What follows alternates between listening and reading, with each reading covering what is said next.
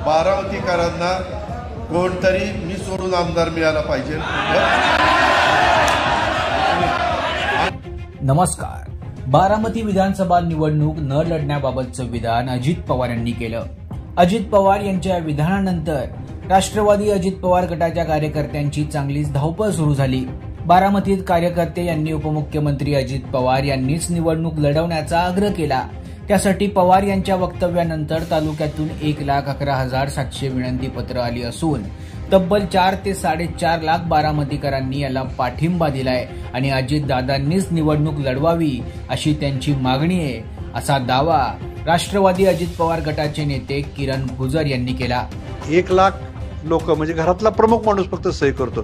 त्याच्या घरात जर चार माणसं असतील तर आज जवळ चार साडेचार लाख लोकांची मत ती म्हणणं आलं असं जर गृहीत धरलं तर लोकांचं दादांवर मनापासून प्रेम आहे दादाने उभा राहावं अशी मनापासून इच्छा आहे.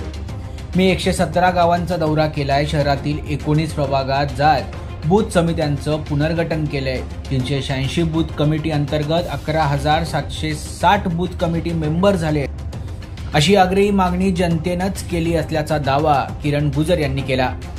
मात्र यावरून समाज माध्यमांवर अजित पवार आणि त्यांच्या कार्यकर्त्यांची खिल्ली उडवली जाते त्याला कारणही आहे. दोन हजार चोवीसच्या लोकसभा निवडणूक आकडेवारीनुसार बारामती विधानसभा क्षेत्रात तीन लाख सदुसष्ट हजार आठशे शहात्तर मतदार आहेत आणि चार लाख मतदान दादांना मिळवणार असा प्रण त्यांचे कार्यकर्ते करतायत.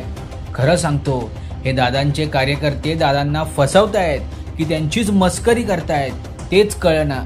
एकूणच असे कार्यकर्ते असल्यावर दादा निवडणुकीला उभं राहायला का नको म्हणतायत ते आपल्याला लक्षात आलंच असेल. अशा प्रतिक्रिया समाज माध्यमांवरून समोर येत आहेत.